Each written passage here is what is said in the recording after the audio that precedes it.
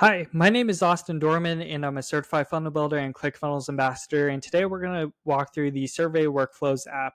Now, if you haven't already installed the Survey Workflows app, you'll need to do that first. And I'll link a video link in the descriptions on how to walk through that. But essentially, all you have to do is click on this plus icon here on the left hand side where it says Add an app, and then find the Survey Workflows app, and then add it to your ClickFunnels 2.0 workspace. Now, what I'm going to do now is go over here to the left-hand side and click on Survey Workflows. Now, Survey Workflows works great if you want to create surveys or quizzes inside of your ClickFunnels 2.0 account. And then I'm going to go over here on the top right-hand corner and add and click Add New Survey Workflow. So we're going to call it Test Survey Workflow. Then click Create Survey Workflow. And it's going to take you to the survey workflow editor. So this is where we're going to start creating that survey or that quiz. And so we're going to click this plus icon right here. And right here, this is where we're going to add our first question. Now there's a few different question types. There's single select, multi-select, and input. Single select means that you give the customer or the client a few different options or a handful of options and they select one. Multi-select means that you give them options and they select multiple options or they have the ability to select multiple options. And then input is you ask them a question and then they would manually input their answer. Now, over here under question headline, this is where we're going to ask our question. So the first one that we're going to do is what is your first name? And based off of their answer that they give us, we can associate it with the contact attribute. Now, if we go down here and click the options, the ones with the star next to it means that it basically comes out of the box with ClickFunnels. So, like for example, the name, the first name, last name, email. These are all kind of common ones in the customer record uh, when you create new customers or when customers opt in or make a purchase. So we're going to click on first name right here, and then we're going to click Save Changes.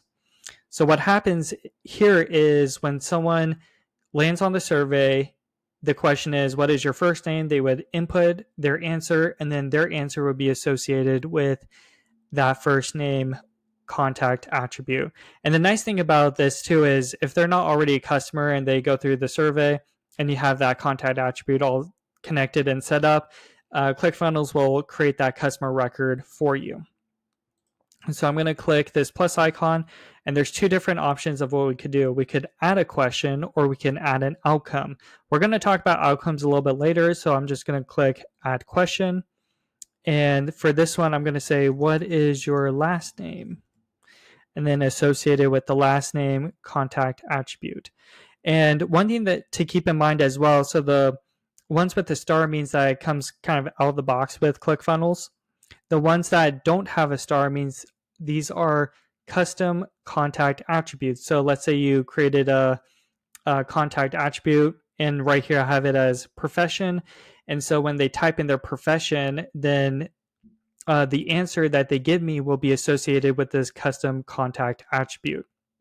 And so I'll link a video on how to create custom attributes in the description so you can refer to that video. But for right now, I'm just going to click last name and click Save Changes. And so I'm going to click this add question, and then I'll say, what is your email? And then associated with the email contact attribute. And the nice thing too with contact attributes and custom contact attributes is if it's a custom contact attribute and you want um, you get the answer from the customer, then it'll be saved on the customer record. And so we're going to go down here. We're going to add a question. And maybe this question would be kind of like our determining factor or like where we want them to go to based off of it. So we're going to say, what do you need the most help with? And then I'm going to actually make it single select. And so right here under options, we could add our answers. And before we do that, I'm going to go over here to multi-select. So multi-select, you could also add the answers here under the options section. For single select, the nice thing too is if they if they or if you give them a question, you could also associate a contact attribute based off of their answer. Um, so I'm going to leave it for none for right now.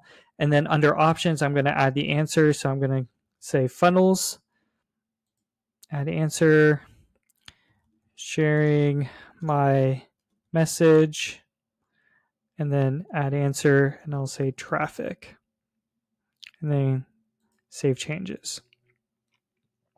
So just to recap what's happening, we have um, when someone goes through this survey, it's going to be the first question is, What is your first name? They'll answer their first name, and then ClickFunnels will take their response associated with that first name contact attribute. Then, same thing with last name. Someone will answer their last name, type it in, and then ClickFunnels will associate that last name attribute to the contact attribute or the response to the last name contact attribute. And the same with email. And then this one, this is kind of like a determining factor of where we're going to direct them to is we're going to ask the question, what do you need the most help with? And then we give them three options funnels, sharing my message, and traffic. And based off their response here, this is where we're going to say, okay, we're going to have them go to either like this funnel or this URL and so forth. So we're going to click on this plus button right here. Now, add outcome. There's two different options of what we could do. The first one is we could either just end the survey and then the second one is we could redirect them. So based off of a certain answer or response that they give us. So we're going to click redirect, click submit. And this is where we're able to manage the rules or create the rules. So we're going to click add rule right here. And so when, and then we select a question. So when do you need the, what do you need the most help with? So I'm going to select that as the question. And then the answer there's two options. It could either be is equal to or does not equal. So we're going to say when answer is equal to, and then we'll say funnels and then save. This is where we could redirect them to. So under the type, we could either re redirect them to a specific page. We could redirect them to a specific funnel. So page, and then it gives you the options. We could do funnels, and then it gives you options of your funnels and then we could also do URL right here, and then you could type in the URL. So for right now, I'm just going to put in dotcomsecrets.com, and then click save.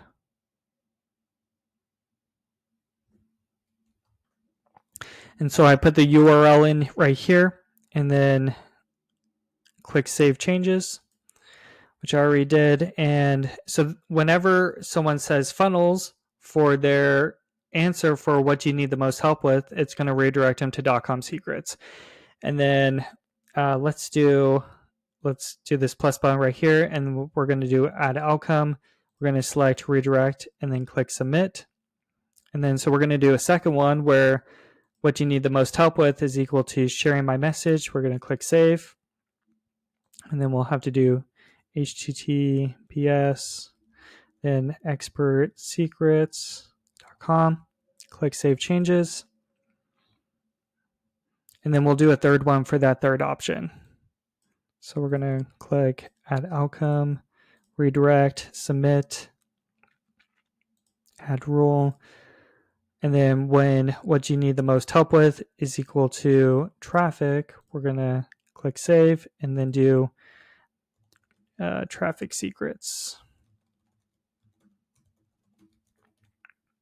and then click save.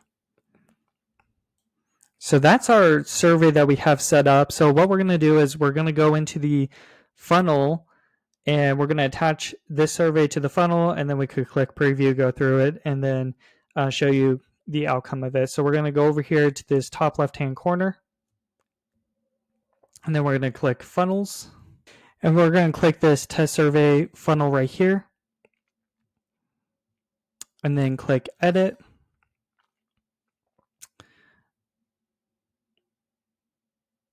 And so now we're in the ClickFunnels 2.0 editor. And so what you'll need to do is add the survey element inside of your funnel. Um, so I'm just going to click on it since I already have it added. And under select survey, this is where we're going to select the survey that we just created. So this test survey workflow right here. And so it's already saved. And so I'm going to click this eyeball icon right here. And we're actually going to go through this funnel or this survey workflow that we created. So we're going to call this uh, what is your first name? We'll say test.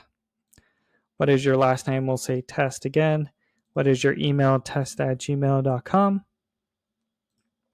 And so this is the question that we have the redirects for. So based off the answer of what you need the most help with, whether it's funnels, sharing my message, or traffic, it's going to direct them specifically to that URL. So we're going to leave that as funnels. And then we're going to click next.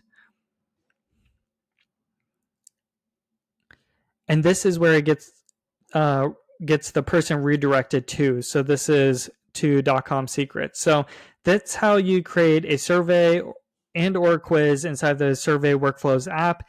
And if you have any questions, feel free to um, ask your questions in the comment.